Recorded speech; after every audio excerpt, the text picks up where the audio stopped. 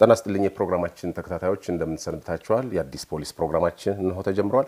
እስከ ፕሮግራማችን ፍጻሜ ድረስ አብራችሁ እንድትቆዩ በአክብሮት የምጋብዛችሁ የዕለቱ ፕሮግራም አስተዋዋቂ ዋና ኢንስፔክተር ማርቆስ ታደሰ ከመላው የስቱዲዮ ባለሙያዎችና ከባልደረቦቼ ጋር በመሆን ነው የመጀመሪያው ፕሮግራማችን በገበያ ማዕከላት አካባቢ የሚፈጸሙ ወንጀሎችን ለመከላከል ፖሊስና የሚመለከታቸው ባለድርሻ አካላት ምን አይነት ስራዎች መስራት ይጠበቅባቸዋል፣ አንድ የወንጀል ታሪክን መነሻ በማድረግ አንድ መሰናዶ አዘጋጁ ኮነስታብል ፍጹም በቀለ አዘጋጅቶላቸዋል።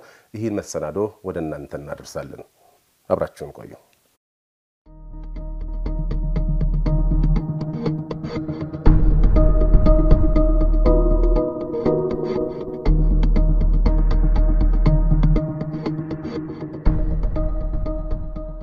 ዘመናዊና ደረጃቸውን የጠበቁ የገበያ ማዕከላት በከተማችን የተለያዩ ህንፃዎች ውስጥ ከትመው ይገኛሉ። በከተማችን ብቻም አይደለም፣ በሀገራችን ብሎም በዓለማችን በግዙፍ ህንፃዎች ውስጥ በበርካታ የነጋዴዎች ስብስብ የተቀላጠፈና ሁሉን አቀፍ የንግድ እንቅስቃሴ ሲከናወን ማየት የተለመደ ነው። ታዲያ ቀላል የማይባል ሀብት የሚገኝባቸውና ከፍተኛ የኢኮኖሚ እንቅስቃሴ የሚካሄድባቸው እነዚህ የገበያ ማዕከላት ከደህንነት አንጻር ከፍተኛ ትኩረትን ይፈልጋሉ። የህንፃዎቹን የንግድ ሱቆች ተከራይቶ የሚሰሩ ነጋዴ ግለሰቦችም ሆኑ ተቋማት ሀብት ንብረታቸውን አደራ ጥለው የሚሄዱት የገበያ ማዕከሉን የሚያስተዳድረው አካል ለሚቀጥራቸው የጥበቃ ሰራተኞች ነው።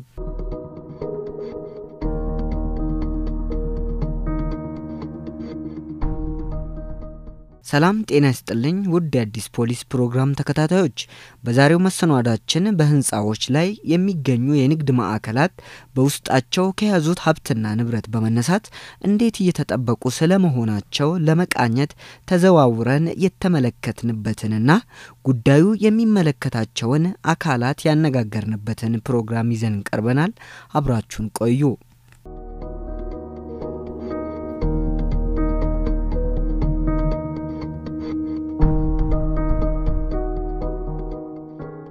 ባለ ህንፃ የንግድ ማዕከላት ባንኮችን ጨምሮ ሌሎች የግልና የመንግስት ተቋማት ይገኙባቸዋል። በርካታ ነጋዴና ሸማቾች የግብይት እንቅስቃሴ የሚያከናውኑባቸው ስፍራዎችም ናቸው። አብዛኞቹ የንግድ ማዕከላት ከዋናው የመግቢያ በር ውጪ ለየሱቆቹ የተዘጋጁ ሌሎች በሮች የላቸውም። በእነዚህ ሳቢያ ወንጀል የሚፈጸምበት አጋጣሚ ቢፈጠር የአብዛኞቹ ነጋዴዎች ገንዘብና ንብረት የወንጀሉ ሰለባ ይሆናል። በተጨባጭም ሆኖ ታይቷል። ምንም እንኳን ለእያንዳንዱ የንግድ ሱቆች አሊያም ቦታዎች በርና ከለላ መስራት ባይቻልም እንኳን ከውጭም ሆነ ከውስጥ የጥበቃ ሁኔታውን ማጠናከር ያስፈልጋል። አንዳንድ የገበያ ማዕከላት ላይ በደህንነት ካሜራ ጭምር የታገዘ የጥበቃ ስራ ሲከናወን፣ አንዳንዶች ጋር ደግሞ የላላ ሁኔታ ይስተዋላል። በተዘዋወርንባቸው ቦታዎች ሁሉ የጥበቃ ስራው የሚከናወነው ከኤጀንሲ በተቀጠሩ የጥበቃ ሰራተኞች መሆኑን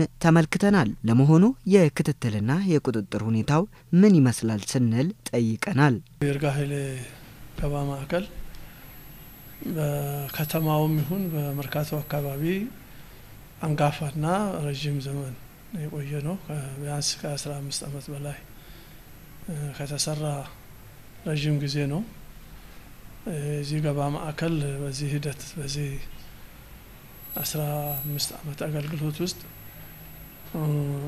በሴኩሪቲ እና በሌሎችም ጉዳዮች በተቻለ መጠን በተቻለ መጠን ምንም እንከን የለውም ባይባልም በጥንቃቄ ስራው እየተሰራ ነው።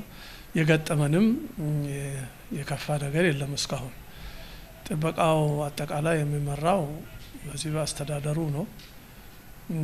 outsource ተደርጎ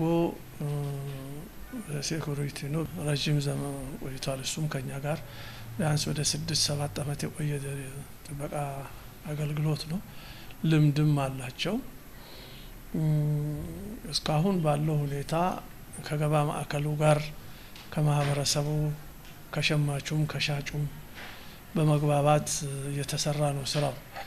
ይህ ሲባል እንዴት ነው የሚመራው? በሁለት መልክ ነው። እኛ ገንዘብ እንከፍላለን። ቁጥጥር እና ስራውን የሚመሩት የሴኩሪቲ ኃላፊዎች ናቸው። በየደረጃው በዋና መስሪያ ቤታቸው በኩል የሚቆጣጠሩ አሉ። ቀንም ሌሊትም ፓትሮል የሚያደርጉ እዚሁ በቅርበት ደግሞ ኃላፊዎች አላቸው ከሸፍት ኃላፊ ጀምሮ እስከ ቡድን አጠቃላይ የገበያ ማዕከሉን ያሉትን ጥበቃ የሚቆጣጠሩ ከዛ በላይ ሲሆን ደግሞ እኛም የምናየው ስህተት የተለያዩ ችግሮች ሲኖሩ ቀጥታ ከኃላፊዎች ጋር በመነጋገር ችግሩን የሚፈታበት መንገድ እንቀይሳለን። በዛ መሰረት በመግባባት ይሰራል። የዛሬ ስድስት ዓመት በፊት ቋሚ የጥበቃ አባላት ነበሩ። አሁን ወቅቱ በዛን ሰዓት እነዚህ ኤጀንሲዎች በየቦታው ሲጀምሩ እኛም እነሱን አስገባናቸው፣ እነዛ ለቀቁ። ከዛን ጊዜ ጀምሮ አሁን ለስድስት ዓመት እስከ ዛሬ ወር ድረስ አንድ ድርጅት ነው ብቻ እኛ ጋር የነበረው። እርግጥ በዚህ ኢንተርቫል በጣም ችግሮች ነበሩብን። አንደኛ ምንም ቋንቋም አለመግባባት ችግሮች ነበሩ። ስልጠናም ችግር ነበረ። አንድ ካስገቡ በኋላ ዞር ብሎ የማያዩትም ኤጀንሲዎች ነበሩ። ግን በአሁኑ ሰዓት ያንን ሁሉ ወቅቱን ሁኔታ በመገንዘብ ዛሬ ወር አዲስ ውል ተፈራርመን አስገብተናቸዋል። ጥበቃው ያው በኤጀንሲ ነው። ከኤጀንሲ ጋር ተዋውለን ነው። ከዚህ በፊት የነበሩ ኤጀንሲዎች ሌሎች ነበሩ። የክፍያ ሁኔታቸውም ከነዚህ ያው ዝቅተኛ ነበረ። ግን እኛ የክፍያው ዝቅተኝነቱን ሳይሆን ለህንፃው ደህንነት ያስፈልጋል በሚል አሳሽ የጥበቃ የሰው ኃይል የሚሉት ጋራ ተዋውለን አንድ ሁለት አመት ሊሆነን ነው እና የጥበቃ ሁኔታ እዚህ ጥበቃው ከኛ ጋር ያላቸው ግንኙነት መልካም ነው። ከኛ ጋራ ያሉትን ጉድለቶች እንዴት እንደሆነ የጥበቃዎች ኃላፊው አሉ። እነሱ በሁለት ቀን አንዴም በቀን በቀንም ይመጣል። ከእሱ ጋር ያሉትን ችግሮች ችግር ካለም ያው በስልክም እየጠራን ከእሱ ጋር እየተወያየን እንደዛ ነው የምናደርገው። ድርጅታችን የምናስጠብቀው በኤጀንሲ ነው። ኮንትራት ሰጥተን ነው የምናሰራው። በተጨማሪ ድርጅታችን ሙሉ በካሜራ system ስር ነው። ድርጅታችን ተከራይተው የሚሰሩ ሶስት ባንኮች አሉ። እነዚህም የራሳቸው security ያላቸው የራሳቸውን ራሳቸው ይጠብቃሉ። እኛ የነጋዴውን የንግድ ሱቆች ግራውንዱን፣ ፎቆችን ነው የምንጠብቀው። በቀጣሪዎችም ሆነ በአስቀጣሪዎች በጥበቃ ሰራተኞቹ ላይ ስራቸውን በኃላፊነትና በትጋት እንዲሰሩ የሚያስችል የክትትልና የቁጥጥር ስልት ቢኖርም ሙሉ በሙሉ ከስህተትና ከክፍተት የጸዳ ነው ማለት እንደማይቻል ግን ይገልጻሉ። የፖሊስ እገዛም አልተለየንም ይላሉ። ይሄ ሲባል ምንም ችግር የለም ማለት አይደለም። እንደ ማንኛውም ተቋም ይሄ ተቋም ነው። ትልቅ የገበያ ማዕከል ነው። ከሶስት መቶ ሀምሳ በላይ ተከራዮች ያሉበት ነው። ባንኮች፣ ሌሎችም ድርጅቶች ያሉበት ስለሆነ በዛ ልክ ሁሉም ነገር በጥንቃቄ ምንም እንከን የሌለው ነው ማለትም አያስደፍረንም። አጋዦች ያግዙናል። በተለይ የአዲስ ከተማ ክፍለ ከተማ ፖሊስን ማመስገን እንፈልጋለሁ። አንደኛ ሴንተራቸው የስምሪት ቀጠናቸውን እዚች ጋር ማዕከል ቦታዋ ማዕከል ስለሆነ እዚህ አድርገው ችግርም ሲገጥመን ወዲያው በመድረስም ሆነ ከጥበቃዎችን በማነቃቃት ሁኔታዎችን ስህተትም ሲኖር ቶሎ በማረም ይረዱናል። ኃላፊዎችም ጠርቶ ጥበቃ ኃላፊዎችንም ጠርቶ orientation በሁለት ወርም በሶስት ወርም ይሰጡልናል። ከእነሱ ጋር እና ከሌሎችም ጥበቃ እና ደህንነት ላይ ካሉ ሰዎች ጋር በመተባበር እስካሁን እንግዲህ መልካም ነገር ነው የምንለው። ዝርፊያ ሲፈጸም ቶሎ ብሎ የሚደርስ አካል ፖሊስ ነው። በየቦታ ማስረጃቸውን ወይም መረጃቸውን በመለጠፍም ትልቅ ትብብር ያደርጋሉና ምንድን ነው ያለው ችግር ብለው በተደጋጋሚ መጥተው ከኛ ጋር ግንኙነት ያደርጋሉ እና ባሉት ስብሰባዎችም የተለያዩ ጥሪዎች ያደርጉልናል። የፖሊስ ድጋፍ በጣም ከፍተኛ ነው። ባየናቸው በእነዚህ ይሄ አክሲዮን ስራ ከጀመረ በጣም በጥቂት ጊዜ ነው።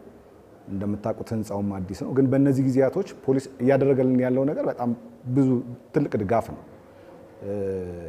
ወንጀለኞችን ከመያዝ አንጻር እንደገና ጥሩ ነገሮችን ክትትል ከማድረግም አንጻር ማን ነው የፈጸመውም ከሚለው አንጻር ፖሊስ ትልቅ ትብብር እያደረገልን ያለው።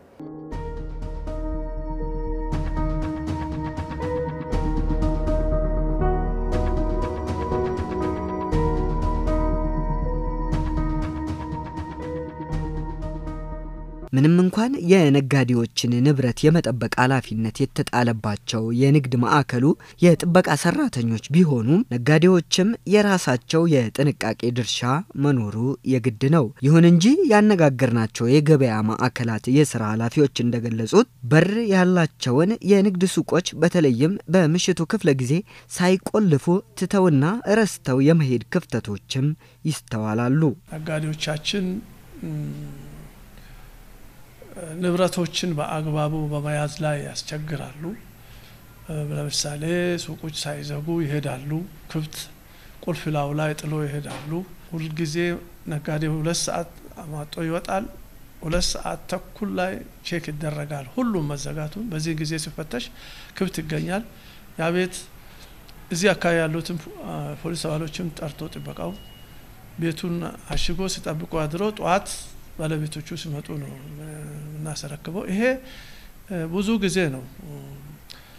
ከዛሬ አመትና ከዛ በፊት አንሹራንስ ቤቶች ክፍት ያደሩበት አለ።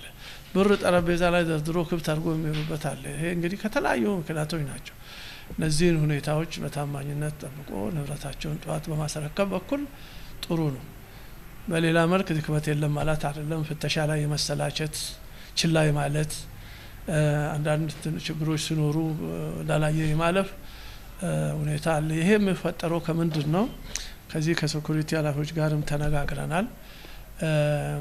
ሰዎች ዛሬ ፍሰቱ ብዙ መስሪያ ቤቶች የመንግስት መስሪያ ቤቶችም የሚቸገሩበት ነው። የተሻለች አስር ብርም ሀያ ብርም ካገኘ ጥሎ ይሄዳል። ሄድኩ እንኳን አይልም፣ ጥሎ ይሄዳል። አዲስ ሰው መተካት ግዴታ ነው። ያ አዲስ ሰው ደግሞ መርካቶን የሚያህል መጥቶ በቀላሉ በሶስት ቀን በሳምንት አይለማመድም። በዚህ መካከል ክፍተቶች ይኖራሉ። ያ አዲስ የመጣ የመፍዘዝ ሁኔታዎችን አተኩሮ ያለማየት፣ ፍተሻ ላይ ቸልተኝነት የማሳየት ሁኔታዎች ይታያሉ። ይሄ ምንም absolutely ችግር የለም ማለት አይደለም። ይህንም በየወቅቱ እየታረመ እስከ ዛሬ እንግዲህ የከፋ ይሄ ነው ብለን የምንኮንነው ወይም በመጥፎ መልክ የተመዘገበብን ነገር የለም። በጥበቃዎች ላይ ብቻ መጣል አስፈላጊ ስላልሆነ ካሜራዎች አሉን፣ security ካሜራዎች አሉን። እስከ አስራ አንደኛ ፎቅ ድረስ አሉን። እንደገናም ደግሞ ሱቆቹ የራሳቸው አላቸው የራሳቸው አላቸው። ጥበቃዎችንም አላጓደልናቸው ማለቴ እናግዛቸዋለን። site ኃላፊ ያላቸው አስተዳደሩም አስተዳደሩም ከእነሱ ጎን ነው፣ አይለይም። እኔ አሁን አስተዳደር ስራ ነው የሚሰራው፣ ግን ከጥበቃ ጎን እዚህ ስምሪት የሚያደርጋቸው አለ የእነሱ ኃላፊ እያንዳንዱን የዕለት ሁኔታዎች እየመዘገበ ምን ተሰራ ምደባ በየቦታው የሚመድበው አለ። ከእሱ ጋር እንገናኛለን። እየዞርንም የጥበቃ ሁኔታ እንዴት እንደሆነ በአብዛኛው ተደጋጋሚም ያው ፍተሻ የመውጫ ሳትሰጡ ሳትቀበሉ እቃ እንዳይወጣም የሚል ትዕዛዝ እንሰጣለን። ያው ከተከራዩም አንዳንድ ችግሮችም አሉ። ግማሹ መውጫንን ሳይሰጡ ዝም ብለው አንሰጥም የሚሉም አሉ። እኛ በወረቀት በደብዳቤ ምን አይነት አት እንትን ከኛ በጽሁፍ በዚህ አይነት መውጫ አሳትማችሁ በዚህ እንድታስወጡ በሚል ለሁሉም በትነናል። ግን በአብዛኛው ያው ከጥበቆች ጋር ብዙ ጸቦች ይካሄዳሉ። እኛ በመሀል እየገባንም ለእኛ ይነግሩናል። እኛ ተከራዩ ጋር ሄደን እንደዚህ አይነት አግባብ ነገሮች እንዳይፈጸሙ ደህንነቱ ለራሳቸው እንደሆነ እየነገርን እንደምናደርግ ነው። አንዳንድ የስርቆት እንትን በምን አይነት መንገድ እንደሚመጣ እንትን አንለውም። እኛ ማታ ላይ ራሱ የሰዓት ገደብ አለው እስከ ስንት ሰዓት ተከራይ መቆየት እንዳለበት። በዛም ጸብ ግማሹ ብዙ ሰዓት ከሁለት ሰዓት በላይ መቆየት የሚፈልጉም አሉ። ግን እኛ እስከ ሁለት ሰዓት ያም ያው በጭቅጭቅ ነው እስከ ሁለት ሰዓት ብለን እንትን ያደረግነው እና በአብዛኛው ጥበቃን እንደ round ይዞራሉ። እያንዳንዱን በሮች ማታ ላይ check ያደርጋሉ። ግማሹ ተንጠልጣይ ቁልፍ አይቆልፍም፣ ሰረገላ ሳይቆልፍ ክፍትም አድርጎ ሳይቆልፉ የሚሄዱም አሉ። እነዛን ግን ማታ ሮንድ በሚያደርጉ ሰዓት ደውለው ለእኛ ያሳውቁናል። ለባለቤቱ ስልክ ካለው ለሱ ደውለው እንዲያሳውቁ በወቅቱ እናደርጋለን። ከዛ የዘለለ የተሰረቀም እቃ ካለ ለፖሊስ በአስቸኳይ ሪፖርት ተከራዩ እንዲያደርጉ እንደዚህ አይነት አስተያየት እየሰጠናቸው በዛ መልኩ ነው እየተጓዝን ያለ ነው። ጥበቃው ለምሳሌ የሚዘረፉ ነገሮች ካሉ፣ አደጋ ሊጥሉ የሚችሉ ሰዎች ካሉ እኛ ካሜራ ስንቆጣጠር አንድ ነገር ስናይ ለጥበቃዎቹ inform እናደርጋለን። ሰዎቹ እዛ ቦታ ላይ አደጋ ሊያደርሱ የሚችሉ ነገሮች ካሉ ምናይ ከሆነ ሄዶ ያንን እንዲይዘው። እስካሁን ግን አልተፈጠረም። ሌባም ከሆነ የሚሰርቅ ሰው ካለ እቃ የሚያነሳ ከሆነ ያልተፈቀደለት እቃ ከነጋዴው ጋር አጭበርብሮ የሚያነሳ ከሆነ ካሜራ አለን። በካሜራ ስልክ አለን። ቀጥታ ለዛ ለነጋዴው ስልክ እንደውላለን። እንደዚህ አይነት ሰው እቃ አንስቷል ከአንተ ጋር ገዝቶ ነው ወይስ እንዴት ነው? አንደኛ ለእሱን inform እናደርጋለን። ሁለተኛ የእኛ ጥበቃ ደግሞ immediately ከነጋዴው ጋር ከመነጋገራችን በፊት ጥበቃውን እዛ እንልካለን። ፍተሻ ግን የለንም። ምክንያቱም የንግድ ሞል ስለሆነ የንግድ እንትን ስለሆነ እያንዳንዱ ሰራተኛ እያንዳንዱ ነጋዴ አንፈትሽም። ለአይናችን ጥርጣሬ ውስጥ ከገባ ግን አስቆመን እንፈትሻለን።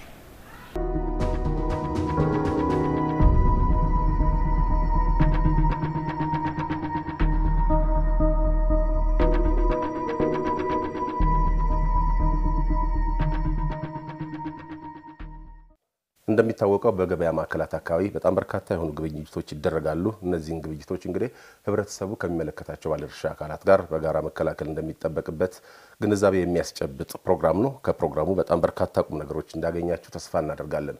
በዚሁ ወደ ፖሊሳዊ ዜናዎቻችን እናመራለን። ከማዕከልና ከተለያዩ ክፍለ ከተሞች የተገኙ ፖሊሳዊ ዜናዎቻችንን ምክትል ኢንስፔክተር ተዘራ አብሽር ወደ እናንተ ያደርሳል። በድጋሚ አብራችሁን ቆዩ።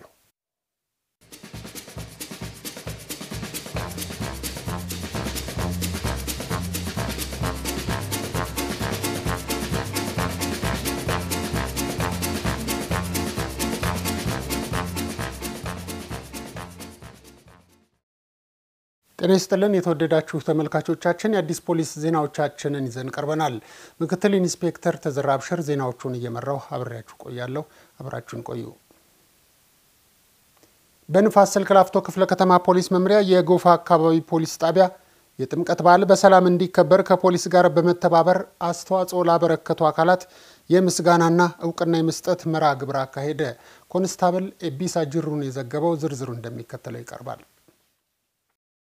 ፖሊስ በዓሉ ከመድረሱ አስቀድሞ ከሃይማኖት አባቶችና ከጸጥታ ኮሚቴዎች እንዲሁም ከወጣቶች ጋር ባደረገው ሰፊ ውይይትና ቅድመ ዝግጅት መሰረት በዓሉ በሰላም በመከበሩ ለዚህ ስኬት ኃላፊነታቸውን የተወጡ አካላትን ማበረታታት ተገቢ መሆኑንና ለቀጣይ መልካም ግንኙነትን እንደሚፈጥር በማመን የምስጋናና የእውቅና መርሃ ግብር እንዲዘጋጅ ማድረጋቸውን የላፍቶ አካባቢ ፖሊስ ጣቢያ ኃላፊ ኮማንደር ድጋፌ ቱሉ ተናግረዋል።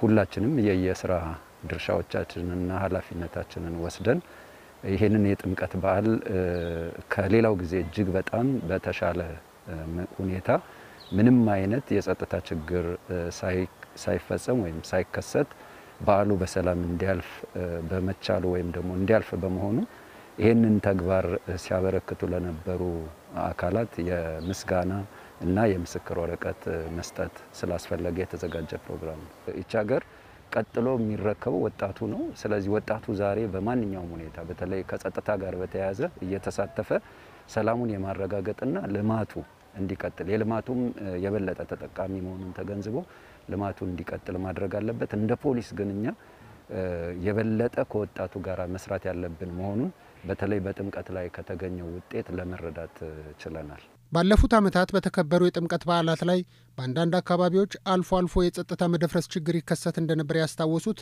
በንፋስ ስልክ ላፍቶ ክፍለ ከተማ የወረዳ 11 ጸጥታ ኮሚቴ ኃላፊ አቶ አለማየሁ ዘነበ በዘንድሮ በዓል ግን ሁሉም ባለድርሻ አካላት ተቀናጅተው በመስራታቸው ያለምንም የጸጥታ ችግር በዓሉ በሰላም መከበሩን ገልጸዋል። ዘንድሮ ላይ እጅግ በጣም የተቀናጀ ስራ በመሰራቱ ከመጀመሪያም ጀምሮ ኃላፊነቱን የወሰደው ፖሊስ የሰራው ስራ እጅግ በጣም ከፍተኛ በመሆኑ በቤተ ክርስቲያንም በአባቶች ዘንድ የተወሰደው orientation ከፍተኛ በመሆኑ እያንዳንዱ የሚመለከተው በቤተ ክርስቲያን ስር ያለ ማህበራትም ኃላፊነትን በመውሰድ በአማረና በሰከነ እንትን ያለቀበት ነው። እውቅና ከተሰጣቸው መካከል የወጣቶች ተሳትፎ ከፍተኛ እንደነበር በመግለጽ ፖሊስ የእውቅና መርሃ ግብር አዘጋጅቶ በጸጥታው ስራ ላይ የተሳተፉ አካላትን ማመስገኑ በቀጣይ በጋራ ለመስራት የሚያነሳሳ ነው ብለዋል። አንድ ሆኖ ሁሉም በአንድነት በአንድ አይነት አመለካከት በአንድ ሳምባ ሁሉም መተንፈስ ስለጀመረ ነው ይህን ሁላ ውጤት ሊያመጣልን የቻለው። አሁንም ደግሞ ቀጣይም መሆን አለበት። እንደዚህ አይነት አመለካከት ይዘን ነው መጓዝ አለበት። ይሄ የአከሌ በዓል ነው፣ ይሄ የአከሌ በዓል ነው የሚባል ነገር የለም። ሁሉም የኢትዮጵያውያን ባህል ነው። በቃ የእነሱ በዓል ነው። በጋራ ነው የምናከብረው። ከፖሊሶች ጋር ደግሞ ያለው ነገር ቀደም ሲል በሚታየው ሁኔታ ላይ አይደለም ያለ ነው። አሁን በፍቅር ነው ያለ ነው። ስንገናኝ ስንተያይ ፊታችን ላይ የፍቅር ገጽታ ነው የሚታየው። ዛሬ የምስግና ወረቀት ምስክር ወረቀት እውቅና ሰጥተዋል። ይሄ የሚበረታታ ይበል የሚያሰኝ በቀጣይም ደግሞ አብሮ መሆን ያለበትን ነገር ነው። እውነት ለመናገር በጋራ ስንሆን እንዲህ እንደሚያምርብንና መመሰጋገን እንደሚቻለው ከዚህ የምናየው እኛም እንደ ቤተ ክርስቲያን እንደ ሰንበት ትምህርት ቤት ሲያደርጉት ለነበረው የመንግስት አካላት የበለጠ እውነቱን ለመናገር አሁን እኛም እውቅና ሰጠን ከሚገባው ላይ ልናመሰግን እንወዳለን። በወረዳ 12 የአካባቢ ወጣቶችም የሰንበት ትምህርት ቤቱም በጋራ በቅንጅት ሲሰራ ነበር። ይህንን ውጤት ነው ዛሬ ያየነው። የአዲስ ከተማ ክፍለ ከተማ ፖሊስ መምሪያ ሀያ ካርቶን ጊዜው ያለፈበት መድኃኒት ሲያከፋፍል የነበረን ግለሰብ በቁጥጥር ስር መዋሉን ገለጸ።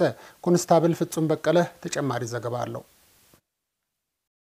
የወንጀል ድርጊቱ የተፈጸመው በአዲስ ከተማ ክፍለ ከተማ ወረዳ ሰባት አርሾ ክሊኒክ ተብሎ በሚጠራው አካባቢ ሲሆን ተጠርጣሪው ግለሰብ የንግድ ፍቃድ ሳይኖረው ጊዜያቸው ያለፈባቸውን መድኃኒቶች በኮንትሮባንድ መንገድ በማስገባት ሀያ ካርቶን መድኃኒት በቤት ውስጥ በማከማቸት ለህብረተሰቡ ሲያከፋፍል በህብረተሰቡ ጥቆማ መያዙን የአዲስ ከተማ ክፍለ ከተማ ፖሊስ መምሪያ ወንጀል መርማሪ ረዳት ኢንስፔክተር ካሚል አልዬ ገልጸዋል። ህገወጥ መድኃኒቶችን ከቤቱ አከማችቶ ለህብረተሰብ ያከፋፍላል የሚል ጥቆማ ከህብረተሰቡ ደርሶ እኛም ይህንን ጥቆማ በመቀበል ምርመራ ማጣራት ጀምረን ከያዝናቸው በኋላ ስናያቸው መድኃኒቶቹ የአገልግሎት መጠቀሚያ ጊዜው ያለፈበት ለሰው ህይወት አደጋ የሚፈጥሩ ብዛት ያላቸው መድኃኒቶች አሉ። እነዚህንም መድኃኒቶች የአዲስ አበባ ምግብና መድኃኒት ቁጥጥር ባለስልጣን መጥቶ እንዲያያቸው አድርገናል። እነሱንም በደብዳቤ ጠራን። እነሱም ባለሙያተኞች መጥተው አይተውት የመድኃኒቶቹን ዝርዝር ጽፈው በመሄድ ክትትል እያደረጉበት ነው ያሉት። ሙያዊ መብራሪያም እንዲሰጡን ጠይቀን ማብራሪያ ሰጥተውበታል።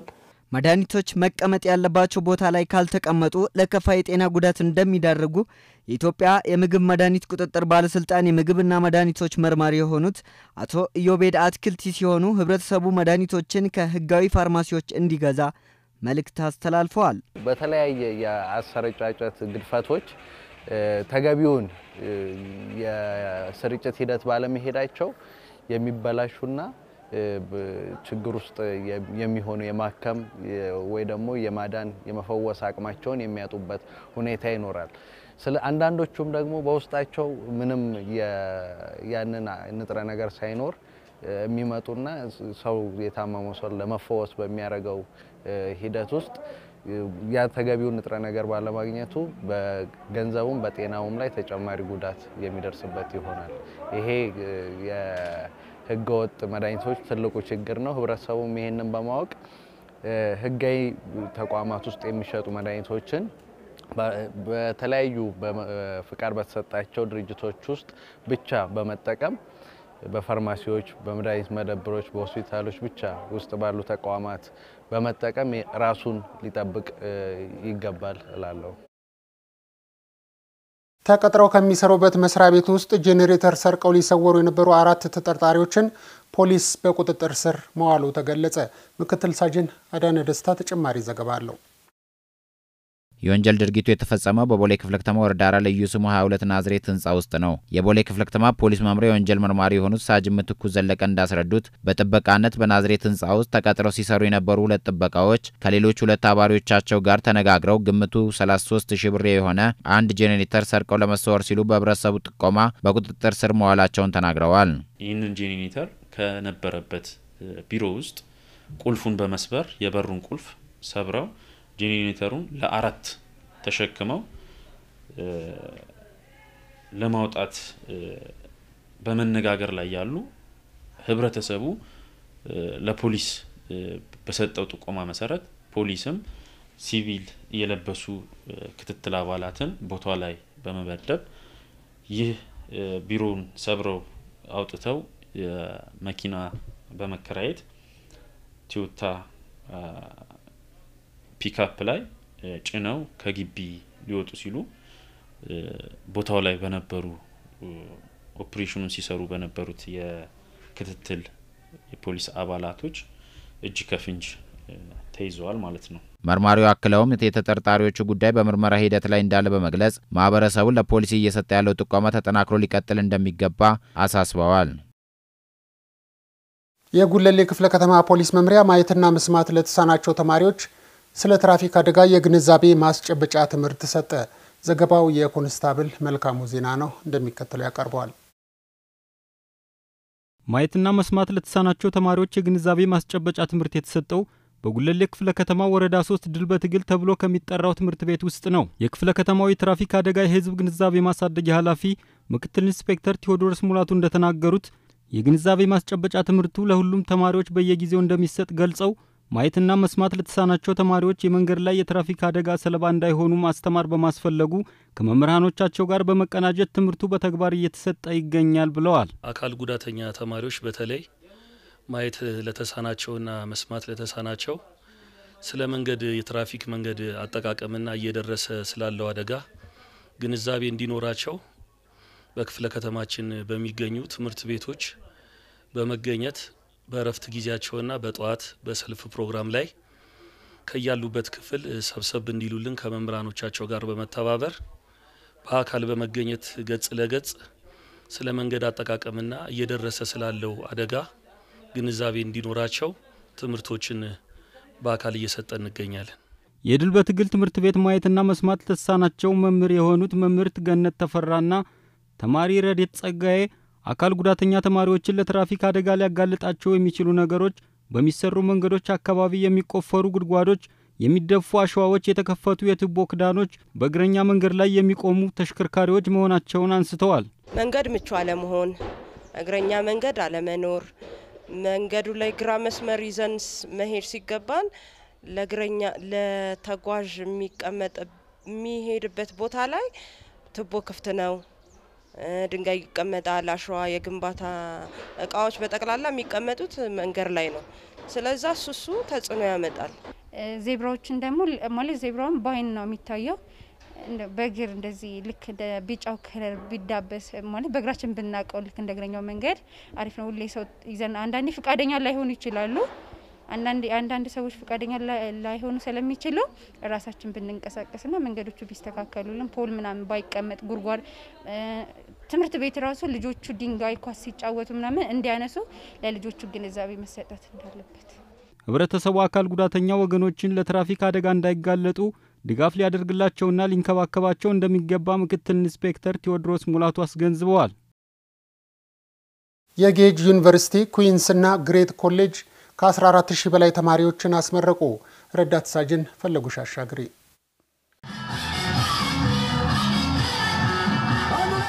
የምረቃ ስነ ስርዓቱ የተከናወነው ጥር 29 ቀን 2013 ዓ ም በአዲስ አበባ ስታዲየም ከ14 ሺህ በላይ ተማሪዎችን የሶስቱ የከፍተኛ የትምህርት ተቋማት አስመርቋል። ጌጅ ዩኒቨርሲቲ ኮሌጅ 17 ዓመት፣ ኩዊንስና ግሬት ኮሌጅ የ23 ና የ5 ዓመት የማስተማር የረዥም ጊዜ ልምድ ያላቸው መሆኑን የገለጹት የሶስቱም የከፍተኛ የትምህርት ተቋማት ዋና ስራ አስፈጻሚ የሆኑት አቶ ሞገስ ግርማ ሲሆኑ በሕግ ማስከበር ስራ ላይ ለተሰማሩ የፖሊስ ሰራዊትም ልዩ የትምህርት እድል በማመቻቸት የአገልግሎቱ ተጠቃሚ እንዲሆኑ እየሰሩ እንደሚገኝ ተናግረዋል። ከአምስት ሺህ ያላነሱ አባላት የፌዴራል ፖሊስ፣ የአዲስ አበባ ፖሊስ፣ የሀገር መከላከያ ሰራዊት አባላት ናቸው። ወደ ዘጠኝ ሺህ የሚጠጉት ሲቪል ማህበረሰብ ናቸው። እነዚህም በተቋሙ ላይ ለአምስት አመት ሚኒመም አሚን ከሶስት አመት አራት አመት አምስት አመት ድረስ የተማሩ ናቸው። ዛሬ ከተመረቁት ውስጥ እስከ ከፍተኛ አመራር አባላት የሆኑ አሉ። እዚህ ጸጥታ even በኮሚሽነር level የደረሱም አሉ። ጸጥታውንም እዚህ የተመረቁ ጸጥታውንም አብረው ያስከብራሉ። አስቀድመውም መስራት ያለባቸውን ሰርተዋል። ስለዚህ የተቋማችን በኢትዮጵያ አቆጣጠር ከ1999 ዓ ም ጀምሮ አሁን እስካለንበት ድረስ almost 13 ዓመት አካባቢ 14 ዓመት ሊሞላን ነው። ከአዲስ አበባ ፖሊስ፣ ከፌዴራል ፖሊስ፣ ከሀገር መከላከያ ሚኒስቴር አባላት በየአመቱ በሺ የሚቆጠር ተማሪ እየተቀበለን እናስተምራለን፣ አስመርቀናለም። የአዲስ አበባ ፖሊስ ኮሚሽን አባል የሆኑት ዋና ሳጅን ዳንኤል ለማ የመጀመሪያ ዲግሪ በ business management ተመራቂ ሲሆኑ የፖሊስ አመራርና አባላት በተለያየ የሙያ መስክ ራሱን ብቁም በማድረግ የሕግ የማስከበር ስራቸውን በብቃት ለመወጣት ያለው አስተዋጽኦ የጎላ መሆኑን ተናግረው ትምህርታቸውን በአግባቡ ተከታትለው ለምረቃ እንዲበቁ እገዛ ላደረጉ ባልደረቦቻቸው ምስጋና አቅርበዋል። መጀመሪያ ራስን ለመለወጥ ቁርጠኝነት ያስፈልጋል። ከዛ በተጨማሪ ደግሞ ማን ነው ከፍተኛ እዛ ያሉ የአመራሮቻችንና ተቋማችንን ከምንም በላይ ለእነሱ የመጀመሪያ ምስጋናን አቀርባለሁ። ቀጣይ ደግሞ የሸራረፍናትን ሰዓታችን አካክሰን የበለጠ ስራ ለመስራት ነው። ቢያንስ ትምህርቱና ጎን ለጎን እንደዚህ ዛሬ ማ ነው እንደምታይን ማ ነው። ካነጋገርናቸው ተመራቂ ተማሪዎች መካከል አቶ ሰለሞን ብርሃኑ የጥረታቸውን ውጤት በማየታቸው መደሰታቸውን ገልጸው ሁሉም በየሰለጠነበት የሙያ መስክ ለሀገሩና ለወገኑ የተሻለ አገልግሎት በመስጠት የበኩሉን አስተዋጽኦ ሊወጣ እንደሚገባ ተናግረዋል። መማር ለመመራመር ነው። መማር ለመለወጥ ነው። የሀገሪቱን ነባራዊ ሁኔታ ተረድቶ ክፍተቷን ለመሙላት ነው፣ ለማወቅ ነው። ትምህርት የሚቆም አይደለም። ይሄ መንደርደሪያ ነው። ከዚህ በላይ ተምሮ ደግሞ ጥሩ ደረጃዎችን ደርሶ ለሚሰጠው ስራ በማንኛውም መስክ ላይ ግብዓት ይሆነዋል። መማር ብቻ ግን ግብዓት አይሆንም። የኮልፌ ቀራኒዮ ክፍለ ከተማ ፖሊስ መምሪያ የትራፊክ ቁጥጥር ዲቪዚዮን በተለያዩ የደንብ መተላለፍ ጥፋቶች ላይ የተገኙ ከ240 በላይ ባለሶስት እግር ተሽከርካሪዎች ላይ እርምጃ መውሰዱን ገለጸ። ሳጅን ዘላለም አበበን የዘገበው ዝርዝሩን ያቀርበዋል። ከጥር 1 እስከ 26 ቀን 2013 ዓ ም ባደረገው የቁጥጥር ሥራ ያለመንጃ ፍቃድ ሲያሽከረክሩና በተለያዩ ጥፋቶች ላይ የተገኙ ከ240 በላይ የሚሆኑ ባለሶስት እግር የባጃጅ ተሽከርካሪዎች ላይ እርምጃ መውሰዱን የክፍለ ከተማው ፖሊስ መምሪያ የትራፊክ ጥበቃና ቁጥጥር division team ኃላፊ ምክትል ኢንስፔክተር ዮሐንስ መብራቱ ተናግረዋል። ቀጣይም ከባለ ድርሻ አካላት ጋር በመቀናጀት ተግባራቸውን አጠናክረው እንደሚቀጥሉ ምክትል ኢንስፔክተር ዮሐንስ መብራቱ ገልጸዋል። ከጥር አንድ ጀምሮ እስከ 26 ባለው ጊዜ ውስጥ በባጃጆች ላይ ኦፕሬሽን ሰርተናል። እንግዲህ እንግዲህ በአጠቃላይ ማለት ይቻላል ከ240 በላይ ከ240 በላይ ባጃጆች በተለያየ ደንብ ጥሰቶች ላይ በሱ ላይ ቁጥጥር አድርጎ እርምጃ የተወሰደባቸው በርካታ አሉ። ከዛ ውስጥ ደግሞ በጣም የሚገርመው ከ30 ከ30 ሰዎች ከ30 አሽከርካሪዎች በላይ ደግሞ እንደዚሁ ያለ መንጃ ፈቃድ ሲያሽከረክሩ ተይዘው በዚህ በሕጉ መሰረት እንግዲህ አስፈላጊውን እርምጃ የተወሰደባቸው አሉ። ያነጋገርናቸው የባለ ሶስት እግር የባጃጅ አሽከርካሪዎች ለትራፊክ ሕግና ደንብ ተገዥ ሆኑ አለማሽከርከር ለመንገድ ላይ የትራፊክ አደጋ መከሰት ዋነኛ ምክንያት እንደሚሆን በመግለጽ ሁሉም አሽከርካሪ በኃላፊነት ለትራንስፖርት ተጠቃሚው ህብረተሰብ አገልግሎት መስጠት አለበት ብለዋል።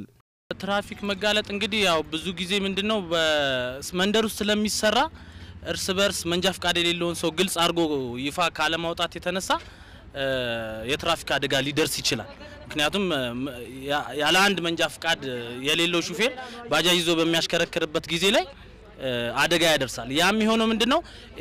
እርስ በርስ በመነጋገር ይሄ ሰው ተራ ላይ የሚመጣውን ባለባጃጅ ምንድን ነው የሚለውን ጀርባው ተጠንቶ እርስ በርስ ለህግ አካል አሳልፎ መስጠት፣ መንጃ ፍቃድ አለመያዝ ዝም ብሎ በጓደኛም በቤተሰብም በኩል የተለማመዱ ተሽከርካሪዎችን አሽከርካሪ ሹፌርም በመቅጠር መንጃ ፍቃድ ባለመያዝ እዚህ ቦታ ላይ በማሽከርከር ብዙ አደጋ ሊያደርስ ይችላል ብዬ አስባለሁ። ይህንን ይሄ ዘነበ ወርቅ ወረዳ አምስት ጣቢያ እና የባጃጅ ተራ ዋና ኮሚቴዎችም even እንደውም ተራ አስከባሪዎችም ተባብረው በጋራ ቢሰሩ ይህንን አደጋ ለመቀነስ ይችላሉ ብዬ አስባለሁ።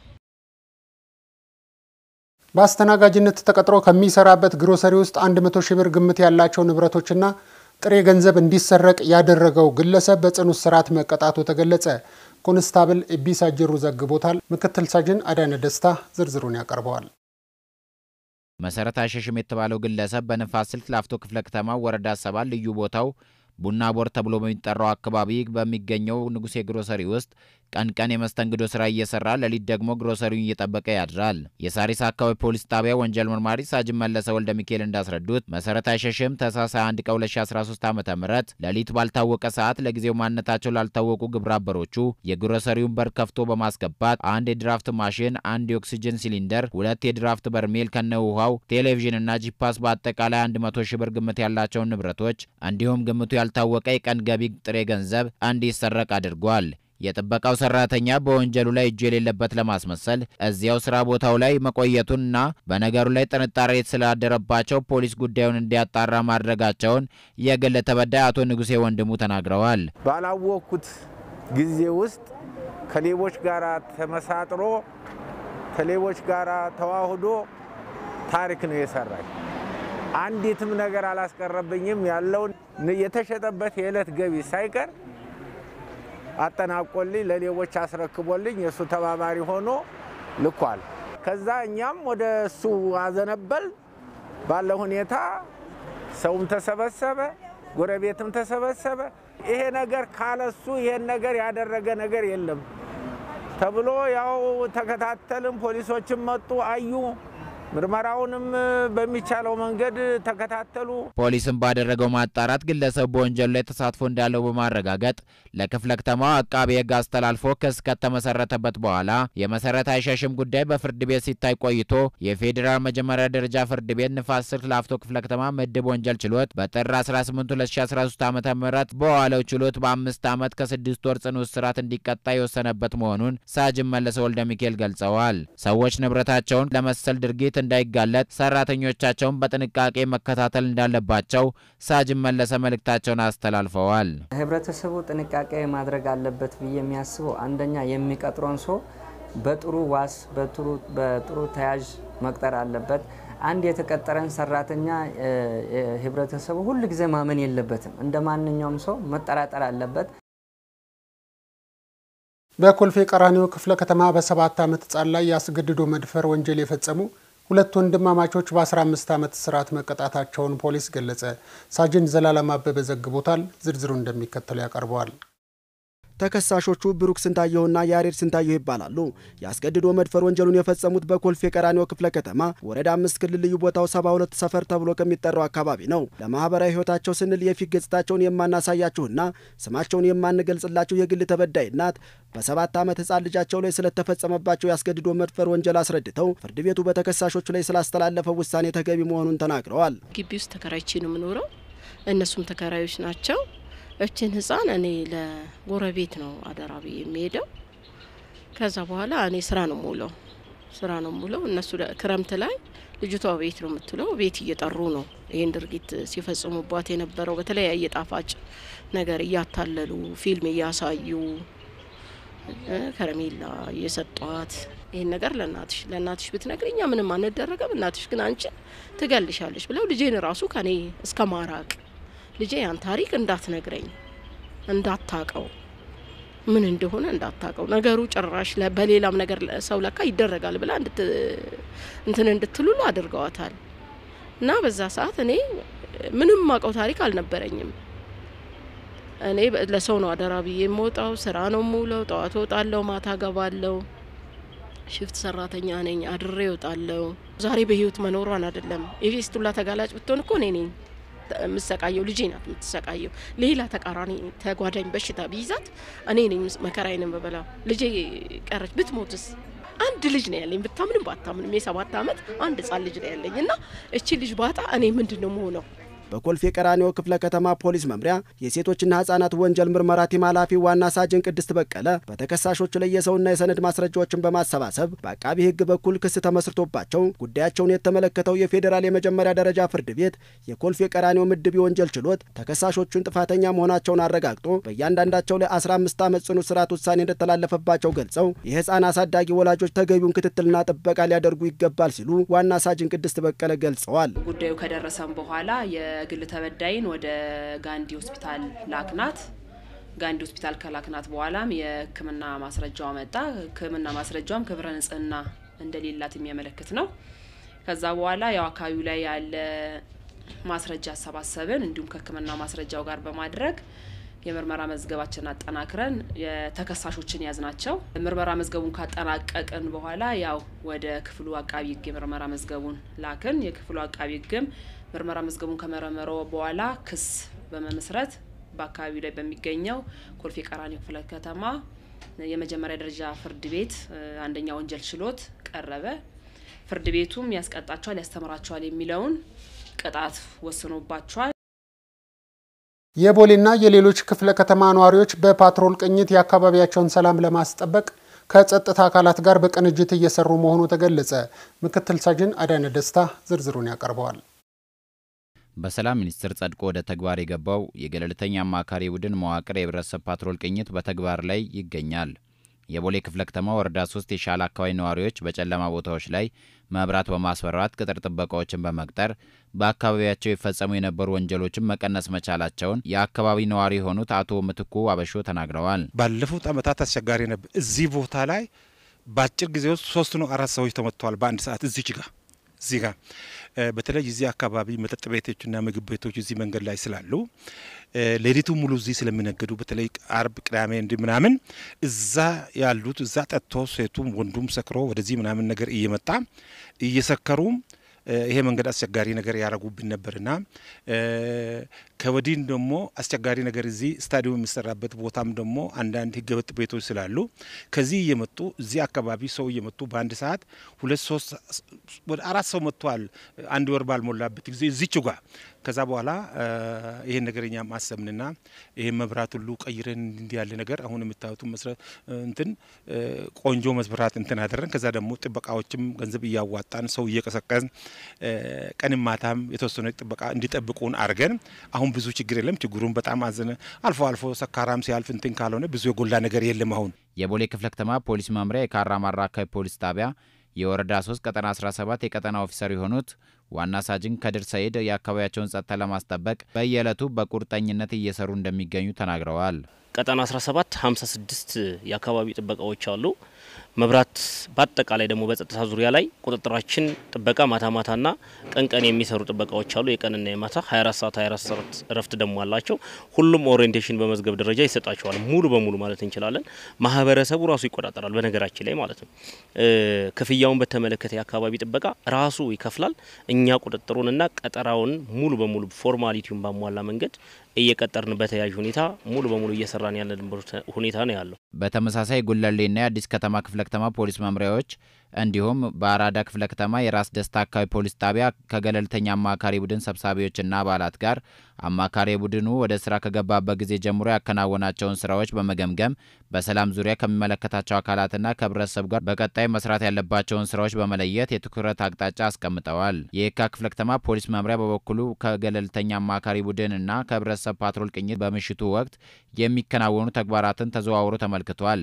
ህብረተሰቡ ለጸጥታ አካላቱ እያደረገ ያለውን ድጋፍ አጠናክሮ እንዲቀጥል እና ቅጥር ጥበቃዎችን በመቅጠር እንዲሁም በጨለማ ቦታዎች ላይ ማብራት በማስበራት በምሽት ሊፈጸሙ የሚችሉ ወንጀሎችን አስቀድሞ ለመከላከል እንዲተገበር የክፍለ ከተማው የማህበረሰብ አቀፍ ፖሊስ አገልግሎት ዲቪዞን ኃላፊ ኮማንደር ታዬ ዘገየ ጠይቀዋል።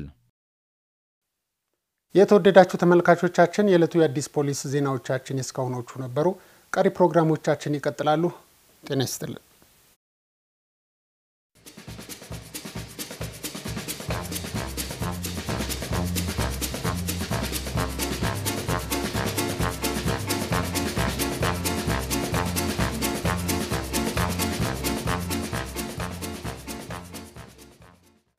የተከበራችሁ የአዲስ ፖሊስ ፕሮግራማችን ተከታታዮች ወደ ሁለተኛው ፕሮግራም እናመራለን። የሁለተኛው ፕሮግራማችን ደግሞ ፖሊስ ከሚመለከታቸው ባለድርሻ አካላት ጋር በመሆን ጎዳና ተዳዳሪዎች ከሚፈጽሙትም ሆነ ከሚፈጸምባቸው ወንጀል ለመታደግ የሚሰሩ በጣም በርካታ የሆኑ ተግባራት አሉ።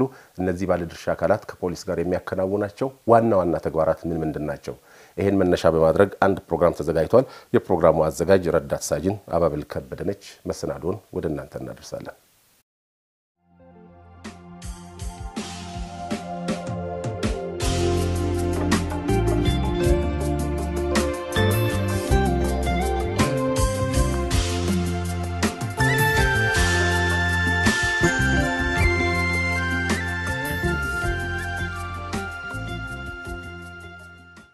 መዲናችን አዲስ አበባ የአፍሪካ ህብረት መቀመጫ መሆኗ ይታወቃል። በመሆኗም በከተማዋ በቁጥር ቀላል የማይባል የጎዳና ተዳዳሪዎች ይገኙበታል። ከእነኚህም መካከል አብዛኞቹ ሀገር ተረካቢ ትውልድና አምራች ዜጋ የሆኑ ወጣቶች ይወጡበታል። ልጅ በተገቢ ስነ ምግባር ታንጾ ካላደገ ከቤት አልፎ ጎረቤትን እንዲሁም የሀገርን ሰላም እንደሚያፈርስ ይታወቃል። በእነኚህ የጎዳና ተዳዳሪ ልጆች ላይ ትኩረት ተሰጥቶ ካልተሰራባቸው ለከተማዋ የጸጥታ ስጋት ከመሆን አልፈው ችግሩ ለሀገርም ይተርፋልና ትኩረት ለሚገባው ትኩረት መስጠት ያስፈልጋል።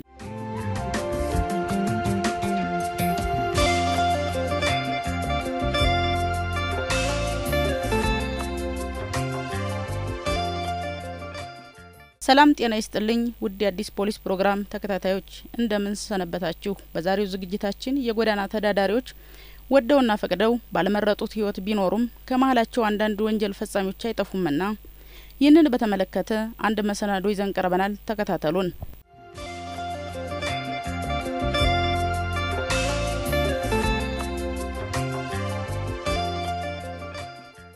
የጎዳና ተዳዳሪዎች ችግሩ ሀገር አቀፍ ጉዳይ ነው። ለዛሬው የፕሮግራም መነሻ የሚሆን በቂርቆስ ክፍለ ከተማ ስለተፈጸመው የስርቆት ወንጀል ይሆናል። የለገሃር አካባቢ ፖሊስ ጣቢያ ወንጀል ምርመራ ማስተባበሪያ ኃላፊ ረዳት ኢንስፔክተር ሰለሞን አሰፋ ስለ ወንጀሉ አፈጻጸም ይገልጻሉ። በቂርቆስ ክፍለ ከተማ ወረዳ ሰባት ልዩ ቦታው ኢትዮጵያ ሆቴል ፊት ለፊት ካለው የመብራት ቦታ ላይ ነው ወንጀል የተፈጸመው። ተከሳሽ ራህመቶ አወል የተባለ ንብረትነቱ የኢትዮጵያ ገንዘብ ሚኒስቴር ኮድ 4 296 ኢቲ መኪና መብራት ይዞት ከቆመበት ቦታ ላይ ተከሳሽ መኪናውን የሚወለውልና ገንዘብ የሚለምን በማስመሰል ወደ መኪናው ተጠግቶ የቀኝና የግራ የመኪና የመብራት የውሃ መርጫ ግምቱ የሁለቱ ሲደመር ስድስት ሺህ ብር የሚሆንን ነቅሎ ይዞ ሲሮጥ በአካባቢው ህብረተሰብ እና በግል ተበዳዮች ተይዟል። ተከሳሽ ምርመራውን መዝገብ አጠናቀን ለአቃቢ ሕግ ካቀረብን በኋላ ተከሳሽ ያስተምረዋል በሚል በ32 2013 ዓ ም በዋለው ችሎት በአንድ አመት ከአራት ወር እስራት ተቀጥቷል። ይህንን ወንጀል መነሻ በማድረግ የጎዳና ተዳዳሪዎች በወንጀል መከላከሉ ላይ ተግዳሮት ምን ይመስላል ስንል የቂርቆስ ክፍለ ከተማ ፖሊስ መምሪያ ወንጀል መከላከል division ኃላፊ ምክትል ኢንስፔክተር ጎሳዬ ተክሉን ጠይቀን ተከታዩ ምላሽ ሰጥተዋል። በተለያየ አካላቶች ወይም ግፊት ተደርጎባቸው የተለያዩ ገንዘብ ወይም ድለላ በመስጠት ለተለያየ ሽብር ጥቃትም ሊጠቀሙባቸው ስለሚችሉ እኛም እዛ አካባቢ ላይ በምንችለው አቅም አቅጣጫችን በማስተካከል እዛ አካባቢ ላይ የማስወገድ ስራዎችን የመስራት ስራዎችን እየሰራን ያለንበት ሂደት አለ። በቂርቆስ ክፍለ ከተማ በበርካታ ቦታዎች ላይ የጎዳና ህይወት ነዋሪዎች እንዳሉ ይታወቃል። በእነዚህ አካባቢዎች ላይ ልመና፣ ስርቆትና ልዩ ልዩ ተግባራት እንዲሁም ወንጀሎች እየተፈጸሙ ነው። ይህን ችግር ለመቅረፍ እየሰሩ ያሉትን ስራ ምን እንደሚመስል ይገልጻሉ።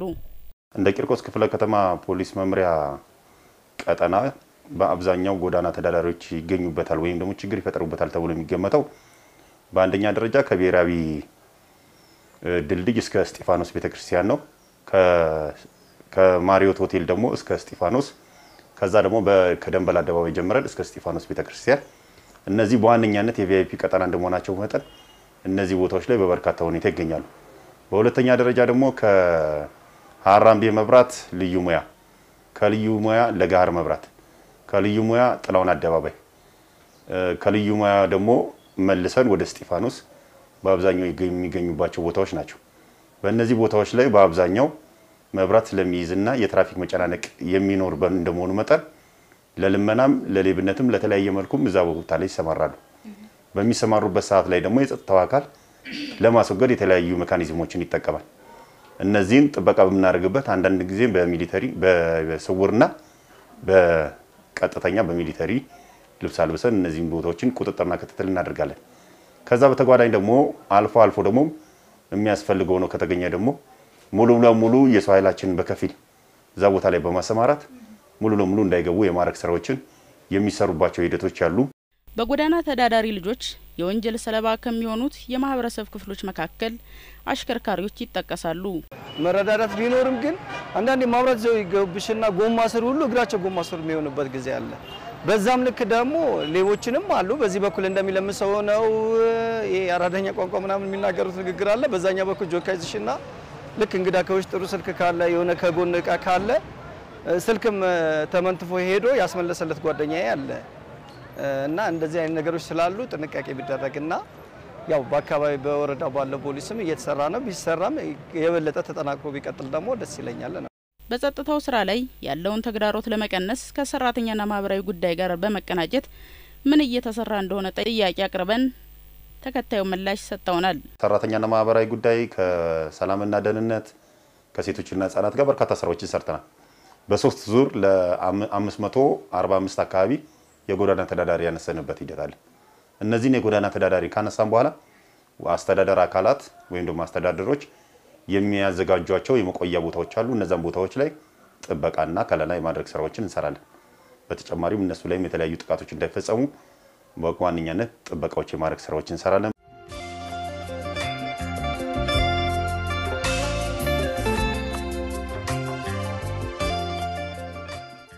የጎዳና ተዳዳሪዎች ጉዳይ ዘርፈ ብዙ ችግሮች እንዳሉት ይታወቃል። በመሆኑም ችግሩ በአንድ ክፍለ ከተማ ብቻ ባለመሆኑ የአዲስ አበባ ከተማ አስተዳደር ሰራተኛና ማህበራዊ ጉዳይ ጉዳዩን በተመለከተ ምን እየተሰራ ነው ብለን ጠየቅ። የጎዳና ተዳዳሪ ላይ በተመለከተ በአዲስ አበባ ከተማ የከተማ አስተዳደሩ በከተማዋ የጎዳና ህይወት የሚኖሩ ወገኖች እየጨመሩ በመምጣታቸው ከ2003 ዓ.ም ጀምሮ በጣም ከፍተኛ ስራ እየሰራ ነው ያለው። በዋናነት በእኛ ቢሮ አማካኝነት ነው የሚሰራው። 2003 ላይ ቅዱ ሲታቀድ ጎዳና ላይ ያሉ ሰዎችን በቋሚነት መሰረታዊ የሆነ ህይወታቸው ሊለውጥ የሚሰራ የሚችል ስራ በመስራት ጎዳና ላይ ሰዎች እንዳይኖሩ የማድረግ ስራ እንሰራለን ተብሎ ታቅዶ ነበር የተሰራ። በወቅቱ በከተማ ያለ የስራ እድልም እንዲያገኙ የተለያየ ስራዎች ተሰርተዋል። እንዲሁ እያለ በየአመቱ የእኛ ቢሮ በይበልጥ እቅድ እያቀደ በራሱም የሚሰራቸው መንግስታዊ ካልሆኑ ድርጅቶችም ጋር እየሰራቸው ያሉ ስራዎች አሉ።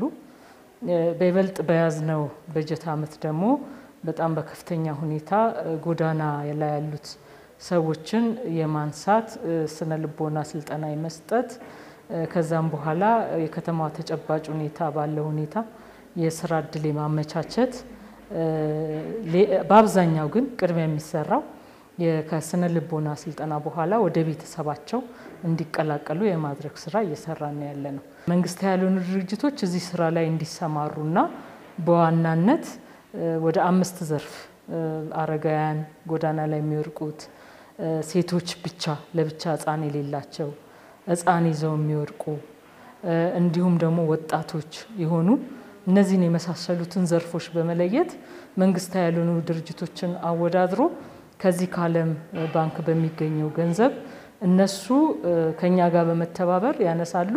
በፊልዳቸው መሰረት ካነሱ በኋላ እስከ ሁለት ዓመት የሚቆይ ስራ ይሰራሉ። እስከ ሁለት ዓመት ይቆያል ብለን ስንል ሁለት ዓመት ሙሉ አንድ ሰው አንድ ቦታ ላይ ይቆያል አይደለም። ለአንድ ሰው የሁለት ዓመት በጀት ለፕሮጀክት የተነደፈለት ማለት ነው።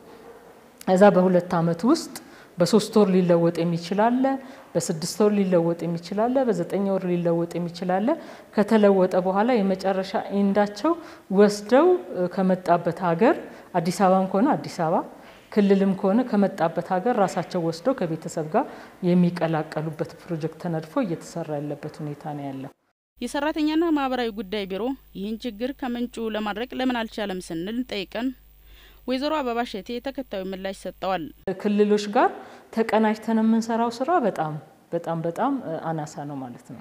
ምክንያቱም አሁን ክልሎች አዲስ አበባ ላይ እየተሰራ ያለውን ስራ ክልሎችም ልክ እንደዚሁ ቢሰሩት ከምንጩ ማቆም ስለሚቻል አዲስ አበባ ላይ ያለው ጫና ሊቀንስ ይችላል። ነገር ግን ያው መንግስቱ ተዘዋውሮ መስራት ይቻላል የሚለውን ነገር ብቻ በመያዝ ክልሎችም ጋር ያለው ነገር ገና በጣም ትልቅ መግባባት የሚጠይቅ ነው።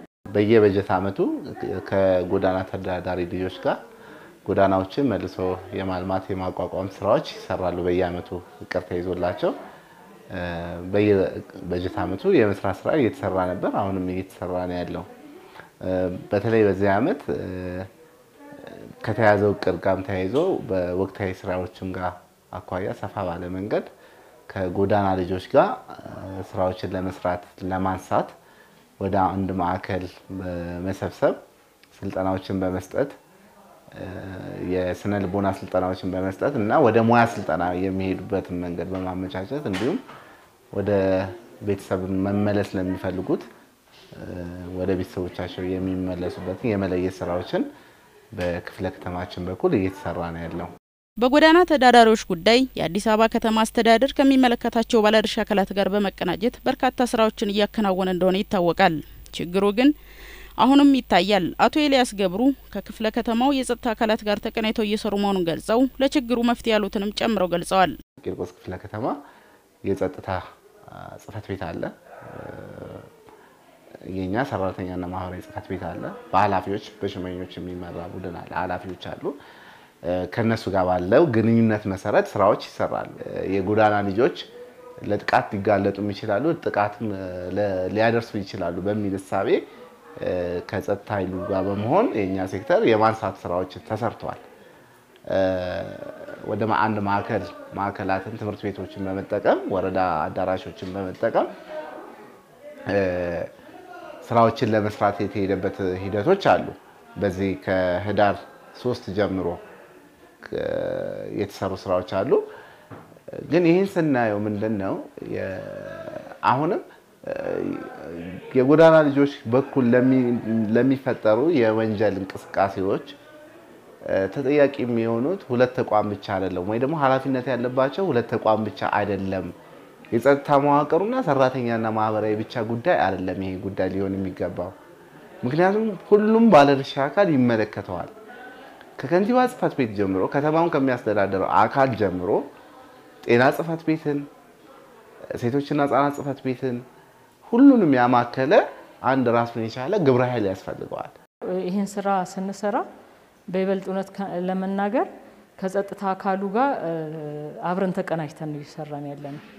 አንድን ይሄን ሁሉ የጎዳና ተዳዳሪ አይደለም አንድም ሰው ለማንሳት የጸጥታ ኃይሉ ትብብር አጋዥነት ባይኖር ኖሮ አይሳካም። እንግዲህ ሁሉም ልክ እንደ ጸጥታ ኃይሉ ምክንያቱም የጸጥታ ኃይሉም የሚተባበረው ለቦልሳ ለቢሮችን ብቻ ብሎ አይደለም። እዚህ ጋር ጥሩ ስራ ከተሰራ የሚመጣው ጸጥታ ላይ የሚመጣውን ስራ ማኔጅ ማድረግ ማስተካከል ስለሚቻል ነው። ሌሎቹም የሚመለከታቸው ቢሮዎች ልክ እንደ ጸጥታ ኃይሉ አብረው ሊተባበሩ ይገባል። እንደ ከተማችን ተቀናጅቶ መሄድ ላይ የሚቀረን ነገር አለ። at least ቢያንስ ክፍለ ከተማ ወረዳ ላይ ይሻላል። ለምሳሌ ጤና ተቋማት ሜዳ ላይ የሚወድቅ ወገን እየበዛ በሄደ ቁጥር የጤናን እንትን ማረጋገጥ አይቻልም። ግማሽ ሰው ጤነኛ ይሆናል። አንዱ በታመመ ቁጥር ለሌላ ሊያስተላልፍ ይችላል። በቀላሉ ኮቪድን ማንሳት ይቻላል። እነዚህ ሰዎች ከሰዎች ጋር ይገናኛሉ፣ ምንም ይሁን ይነካካሉ፣ ምን ይላሉ። ስለዚህ የጤና ፖሊሲያችን ላይ የራሱ effect አለ። ትምህርት የትምህርት ጥራትን ማረጋገጥ አይቻልም። ቀላል የማይባል ወገን ሜዳ ላይ እየወደቀ እየተኛ ትምህርቱን እያቋረጠ እያለ ሴቶች እና ህጻናት ህጻን ይዘው የወደቁ ሴቶች እያሉ ህጻንም በያይዙ ሴቶች ወጥተው ወድቀው እያለ የሴቶችን መብት ጥቅም ማስጠበቅ አይቻልም። ስለዚህ የሚመለከታቸው ወጣቶችን በተመሳሳይ ሁኔታ የሚመለከታቸው ባለድርሻ አካላትና ቢሮዎች በሙሉ አንደኛ መቀናጀት አለብን። ልክ ከፖሊስ ጋር ተቀናጅተን እንደሰራ ነው። አንዱ ይሄ ነው። ሁለተኛው ቅድም ያልኩት ከክልሎች ጋር መቀናጀት አለብን። ቢሮ ማን ሚኒስቴር መስሪያ ቤታችን ሰራተኛና ማህበራዊ ጉዳይ ሚኒስቴር ይሄው ነገር ስለቸገረው ሁሌም ስለምናነሳ አንድ የስምምነት ሰነድ አዘጋጅቷል። ሁሉም ክልል ላይ ያሉት በዚህ ስምምነት ሰነድ ላይ አይተውት ተወያይተው እንዲፈርሙ ሁለቱ መስተዳድር ላይ ያሉትም ከንቲባዎች እንዲፈርሙና ስራው በቅንጅት እንዲሰራ ለማድረግ የጀመራቸው ነገሮች አሉ።